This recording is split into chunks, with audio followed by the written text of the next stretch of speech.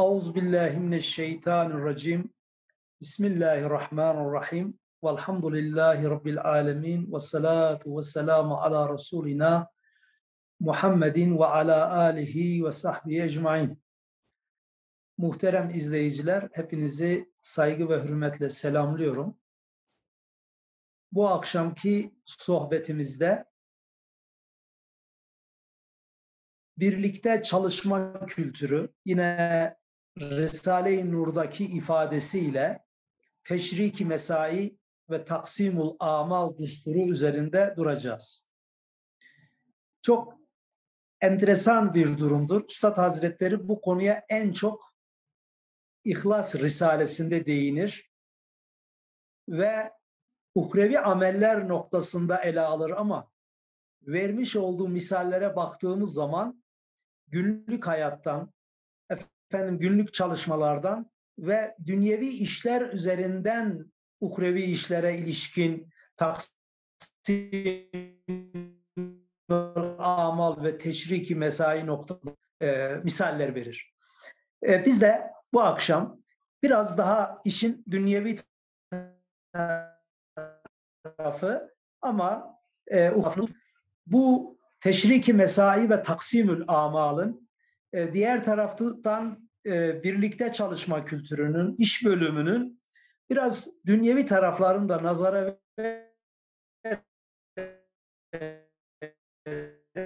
biraz bu akşamki sohbeti Şimdi işaretül icazda Üstad Hazretleri bunun biraz altyapısı üzerinde durur. İnsanlar neden teşriki mesaiye ve taksimül amala muhtaçtırlar? Ya da daha açık ifadesiyle insanlar neden toplumsal bir varlık olarak yaratılmış ve efendim dolayısıyla bir topluluk halinde yaşama e, özelliğine sahiptir? Bunun alt yapısı nedir? Ee, diğer taraftan da Risale-i Nur'daki bir kavram üzerine bunu konuşalım. Bediüzzaman Hazretleri'nin, Üstad Hazretleri'nin bu asır için belki ifadesi ama zaman cemaat zamanıdır. Ferdin dehası e, yalnız başına hiçbir anlam ifade etmez manasında e, ifadeleri mevcuttur. Onun için İşaretül İcaz'da bu konuyla ilgili bir kısa açılım yaptıktan sonra İhlas Risalelerinde özellikle ikinci İhlas Risalesi 21. lem'ada Bediüzzaman Hazretleri'nin e, bu teşriki mesai ve taksimül amala ilişkin ortaya koymuş olduğu açılımı ve dolayısıyla orada verdiği misaller üzerinden de sohbetimizi tamamlayalım inşallah. Şimdi işaretül icazda Bediüzzaman Hazretleri diyor ki insan bütün hayvanlardan mümtaz ve müstesna olarak zaman zaman bu ifade geçtiğinde elimden geldiği kadar bir e, haşiye düşmeye çalışıyorum. E, hayvan kelimesi Arapçada canlı demektir. Dolayısıyla e, bir Kur'an tefsiri olan Risale-i Nur'da da bu anlamda e, hayvan kelimesi kullanılır. Bir canlı manasında e, Cenab-ı Hakk'ın hay ismine mazhar olan bir mahluk manasında kullanılır. Yoksa buradaki ifadelerden kimse efendim evrimcilerin düşüncelerini bakınız işte Bediüzzaman Hazretleri insanı da bir hayvan sınıfı içerisinde ele alıyor şeklinde bir yanlış yargıya varmasın. Buradaki kullanım dediğim gibi canlı manasındadır. Evet demek ki insan bütün hayvanlardan derken bütün canlılardan mümtaz ve müstesna olarak onlardan seçkin ve ayrı olarak acip ve latif bir mizaç ile yaratılmıştır. Farklı ve efendim e, daha ince, daha efendim e, hassas bir miza, e, mizaç ile yaratılmıştır. O mizaç yüzünden insanın bu yaratılışındaki, karakterindeki farklılık yüzünden insanda çeşit çeşit meyiller, arzular meydana gelmiştir. İnsanın yaratılışındaki bu farklılık onun efendim meyillerini, arzularını ihtiyaçlarını da farklı kılmıştır. Mesela insan en müntehap şeyleri ister. En güzel şeylere meyleder. Zinetli şeyleri arzu eder. İnsaniyete layık bir maişet ve bir şerefle yaşamak ister. Bu Cenab-ı Hakk'ın insan oğlunu yaratırken fıtratına, yaratılışına koymuş olduğu özelliklerin bir sonucu olarak ortaya çıkan bir durumdur. Bir ayı ininin çok öyle konforlu lüks olmasının peşinde koşmaz. Belki diğer hayvanlar yavrularına zarar vermesin diye biraz güvenli yerler tercih eder amenna ama çok konfor peşinde değildir. Ama insanoğlu güvenliğin yanı sıra konforu, rahatlığı, nezaheti, temizliği bunun gibi bir e, şeyde bir e, oturmuş olduğu bir e, evde, bir mekanda e, bunların hepsini arzu eder. Bunlar onun yaratılışının aslında bir gereğidir. Peki bu yaratılışın bir sonucu olarak, bu meyillerin bir sonucu olarak ne gelişmiş insanoğlunda? O da şu, şu meyillerin iktizası üzerine insanda var olan, var olan bu meyillerin gereği olarak yiyecek, giyecek ve sair hacetlerini o çok sayıda olan ihtiyaçlarını istediği gibi güzel bir şekilde tedarikinde çok sanatlara ihtiyacı var. Efendim insan güzel yemek yemek istiyor, güzel bir aşçı olmak lazım. O ürünleri üretecek iyi bir çiftçi olmak lazım. Hayvancılıktan uğraşıp, efendim arıcılıkla uğraşıp balığı diğer hayvani e, gıdaları temin etmesi lazım. Efendim bunları işleyip ürüne dönüştürmesi lazım. İyi bir e, efendim fırıncı olması, iyi bir değirmenci olması lazım. Arkasında güzel giyinmek istiyorsa iyi bir terzi olması lazım. Bunun gibi güzel ev yapmak istiyorsa iyi bir inşaat ustası olması lazım. Bunun gibi liste uzayıp gidiyor. O sanatlara vukufu olmadığında insanoğlunun birçok alanda uzmanlaşması mümkün olmadığında ebnai cinsiyle teşriki mesaiyi etmeye mecbur olur.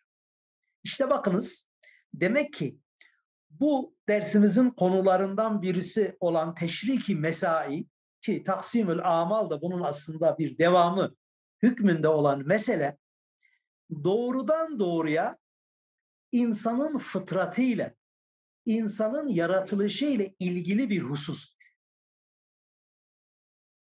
İnsanın fıtratının bir gereğidir. İşte diğer insanlarla ebnai cinsiyle teşriki mesaiye me- mecbur olur ki her birisi semere-i ile efendim o çalıştığı alanda elde ettiği ürünlerle arkadaşında arkadaşıyla arkadaşına mübadele suretiyle değişme. Biliyorsunuz para dediğimiz e, meta sonradan icat edilmiş bir şeydir. Daha önceleri insanlık birbiriyle elde ettiklerini paylaşarak, beraber kullanarak, ortak kullanmak suretiyle böyle bir efendim teşriki mesai geliştirmişler. E, demek ki semere-i ile arkadaşına mübadele suretiyle yardımda bulunsun ve bu sayede ihtiyaçlarını tesviye edebilsinler. Ve bu şekilde çok sayıda olan ihtiyaçlarının giderilmesinde diğer insanlarla e, ortak çalışma, beraber efendim hareket etme ya da elde ettiklerini değiş tokuş dediğimiz mübadele suretinde birbirlerine değiştirmek suretiyle ihtiyaçlarını gidermiştir. Bugün insanlık tarihinin artık aşağı yukarı 12 bin yıllık bir süreci biliniyor ki Göbekli Tepe ve onun muadili olan bazı yerlerde milattan önce 10 bin yılına kadar giden bir tarih ve orada insanların ortak e, kültürünü yansıtan mabetlerinin yine birlikte yaşadıklarını gösteren ve teşriki mesai etmeyi gösterdikleri e, efendim bunlarla karşılaşıyor. Bu da zaten insanın fıtratında, insanın yaratılışında olan bir husus olduğu için de bu günümüze kadar gelmiş ve belki günümüzde işte şehirlerin ortaya çıkması, yine büyük yerleşim, küçük yerleşim yerlerin ortaya çıkmasına baktığımızda hepsinin temelinde bu ihtiyaçlarla ilgili bir durumun söz konusu, söz konusu olduğunu görüyoruz.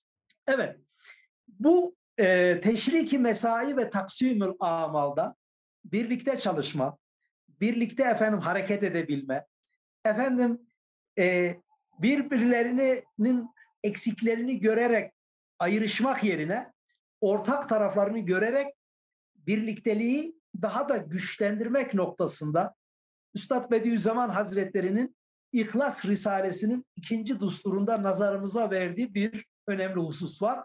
O misali de okuyalım. Evet. Şöyle diyor. Nasıl insanın bir eli diğer eline rekabet etmez? Bir gözü bir gözünü tenkit etmez. Dil kulağını kulağına itiraz etmez. Kalp ruhun ayıbını görmez. Belki birbirinin noksanını ikmal eder, eksikliğini tamamlar, kusurunu örter, ihtiyacına yardım eder. Yani bir elimizle bir şeyi tuttuğumuzda baktık ki elimizden şey edecek, kurtulacak ya da efendim e, bizim bir elimiz bir kolumuz onu taşımaya yetmiyor. Hemen ne yapar? E, adeta böyle bir e, refleks olarak hemen diğer elimizle de tutmaya çalışırız. Böylelikle ne olur?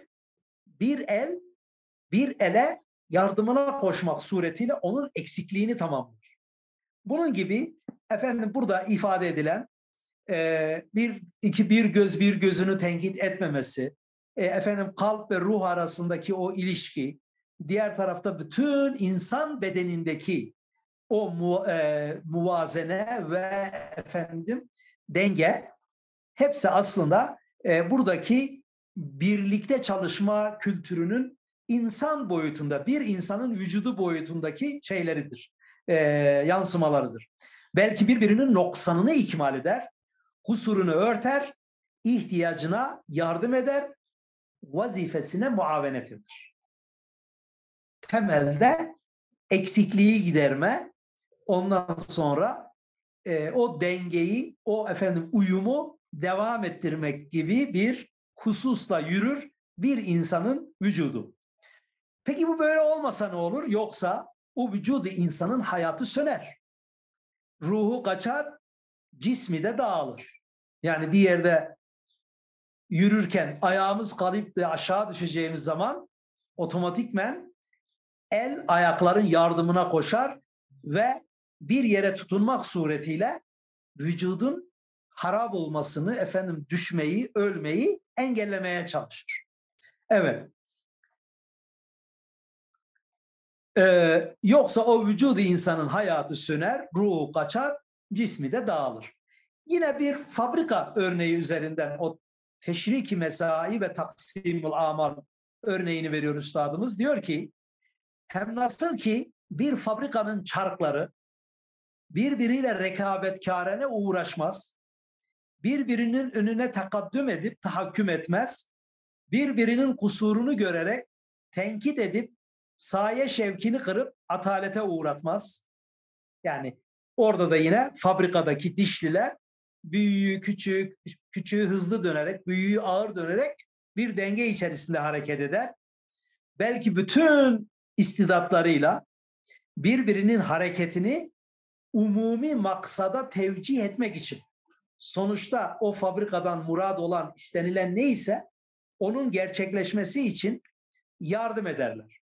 Hakiki bir tesanüt, bir ittifakla gaye-i hilkatlerine yürürler. Yani o fabrika ne için yapılmışsa o amaca doğru hareket ederler.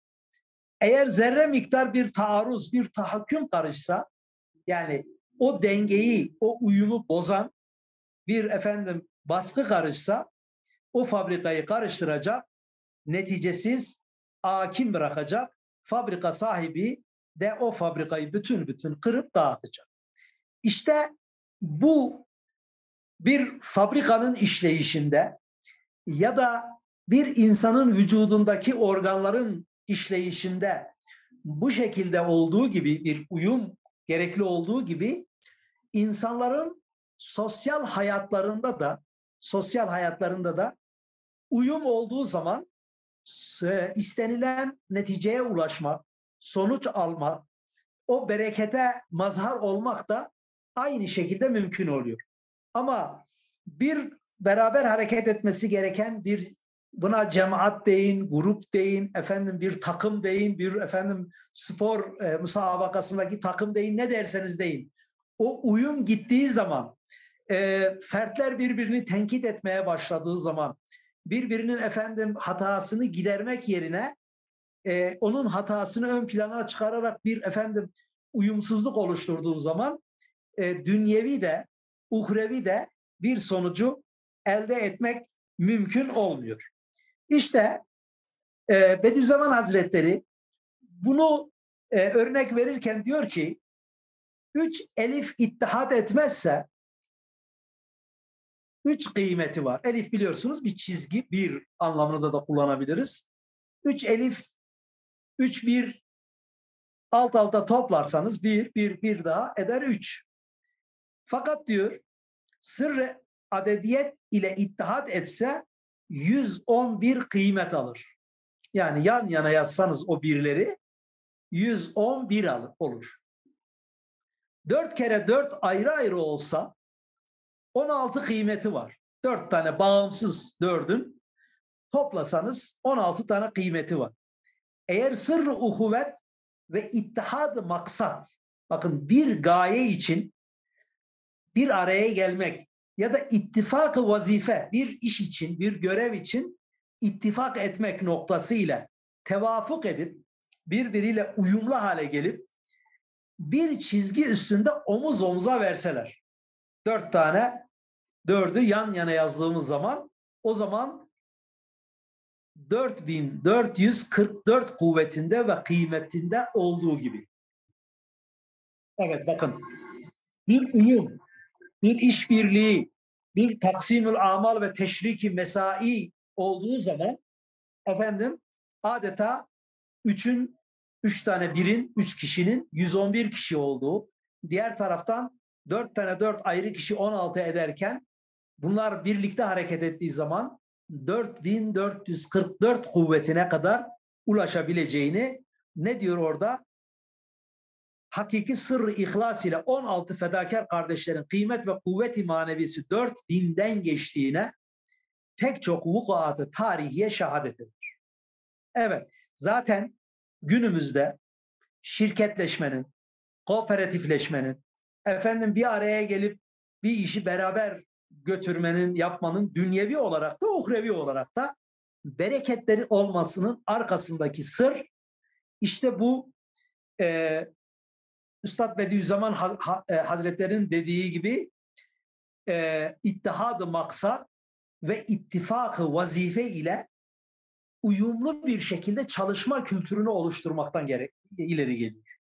Batı'da çok uluslu veyahut da çok ortaklı şirketlerin dünyanın büyük şirketleri haline geldiğini ama ülkemizden de tersine her babanın evlatlarının arazilerini, imkanlarını bölüştüre bölüştüre bölüştüre bölüştüre hiç kimsenin geçinemeyeceği bir duruma geldiğini ve dolayısıyla köyde geçimi sağlayamayınca da o küçük arazi parçalarıyla efendim şehirlere taşınarak e, efendim işte asgari ücrete ya da devlet kapısında bir iş bulmak gibi Üstad Hazretleri'nin e, ifadesiyle ki münazaratta kullandığı bir ifadedir. Memuriyetin eğer hizmet amaçlı değilse diyor onun seele ve acezelerin işi olduğunu yani adeta dilencilik ve çingenelik manasında olduğunu ifade ediyor ve altına bir haşiye de düşüyor. Lütfen diyor e, memurlar benim bu sözümden gücenmesinler diye de böyle bir e, temennisi de var ama işin hakikati de bu. E, Resul-i Ekrem Aleyhisselatü Vesselam'ın rızkın onda dokuzu ticarette ve cesarettedir değişinin arka planına baktığınız zaman da yine e, bunu görürüz ya da e, Resul-i Ekrem Aleyhisselatü Vesselam'ın bu hadisi şerifini Üstad Hazretleri'nin e, o şekilde tefsir ettiğini de görebiliyoruz. Dolayısıyla dolayısıyla demek ki ittihadı maksat ve ittifakı vazife. Yani bir şeyde bir araya gelebilmek ki teşriki mesaidir. Bir araya gelindiği zaman da tabii e, bunun sonucu olarak bir ihtisaslaşma, bir uzmanlaşma durumu ortaya çıkacak ki biraz sonra üstadın verdiği misal üzerinden o ihtisaslaşmanın geldiği, getirdiği bereketi de orada göreceğiz. Ama burada Üstad Hazretleri'nin bu konu üzerinden devamında diyor ki yani niye efendim bu ittifakı, ittihadı maksat ve ittifakı vazife ile dört tane, dört ayrı ayrı olduğu zaman 16 ama o ittihadı maksat ve ittifakı vazifede bu nasıl 4414 ya da pardon 4444 ya da nasıl üç tane birin yan yana o yine ittihadı e, maksat ve ittifakı vazifeyle nasıl 111 olduğunu da şöyle izah ediyor. Bu sırrın sırrı şudur ki hakiki samimi bir ittifakta her bir fert sair kardeşlerin gözüyle de görebilir. Diğer arkadaşlarının gözüyle de görebilir e, ve kulaklarıyla da işitebilir. Güya o on hakiki müttehit adamın, ittihad etmiş o on hakiki adamın her biri 20 gözle bakıyor, 10 akılla düşünüyor, 20 kulakla işitiyor, 20 elle çalışıyor bir tarzda manevi kıymeti ve kuvvetleri vardır. Dolayısıyla işte bereketin kaynağı. Ee, yine az önce bahsetmiş olduğum bu it, e, it, e, ihtisaslaşmanın gel, getirdiği e, önemli bir nokta şu. E,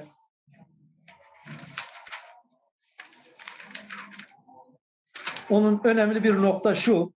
Diyor ki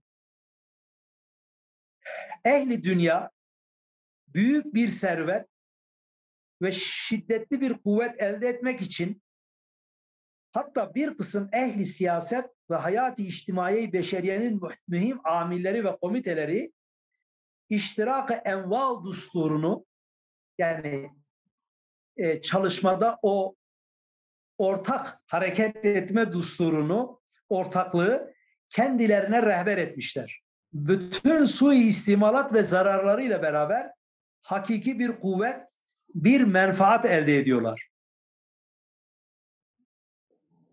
Evet.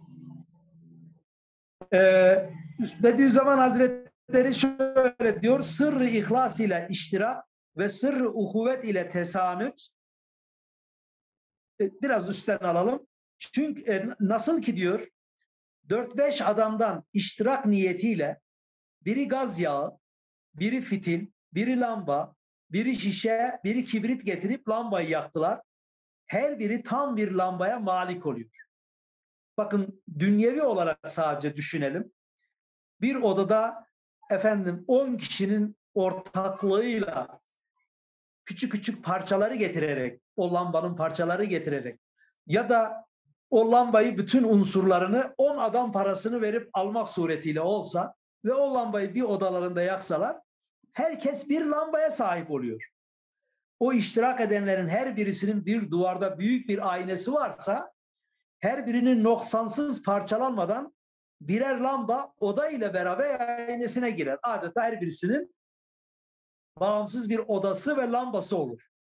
Aynen öyle de envali uhreviyede de, uhrevi işlerde de şöyle diyor, sırrı ihlas ile iştirak ve sırrı uhuvvet ile tesanüt, efendim ihlas sırrıyla ortaklık ve dayanışma sırrı, kardeşlik sırrıyla dayanışma ve sırrı e, ittihad ile teşrikül mesai yine o efendim yekun sevabı veriyor ve bir kişinin duasına diğer kardeşlerinde ortak olması söz konusu oluyor.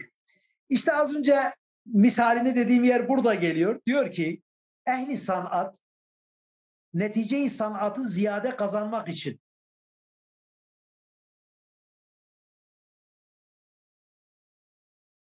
iştirak sanat cihetinde mühim bir servet elde ediyorlar. O teşrik mesai ile ve taksimül amal dusturuyla bakın ne oluyor? Hatta dikiş iğneleri yapan 10 adam ayrı ayrı yapmaya çalışmışlar. O ferdi çalışmanın her günde yalnız 3 iğne o ferdi sanatın meyvesi olmuş. Niye? Çünkü ayrı bir iş yeri, ayrı bir ocak yakacak, bir işi yapacak, bırakacak, biraz sonra söyleyeceği işleri, sonra diğerine geçecek, sonra diğerine geçecek, zor olacak. Sonra teşrikül mesai dusturuyla beraber ortakça hareket etmek suretiyle on adam birleşmişler. Biri demir getirip, biri ocak yandırıp, biri delik açar, biri ocağa sokar, biri ucunu sivritir ve hakeza.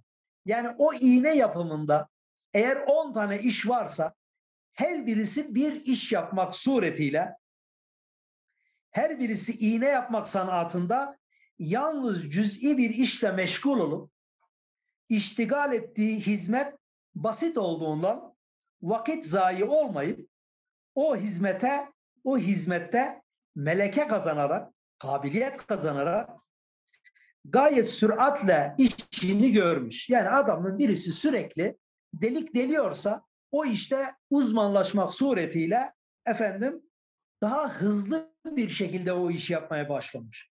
Sonra o teşrikül mesai ve taksimül amal dusturuyla sanatın semeresini taksim etmişler. Elde ettikleri o ürünleri bölüştürmüşler.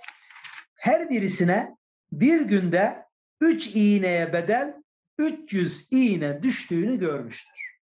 Bakın uzmanlaşmanın teşrikül mesai ve taksimül amal dusturunun dünyevi sonuçlarının da ne kadar önemli olduğunu görüyoruz.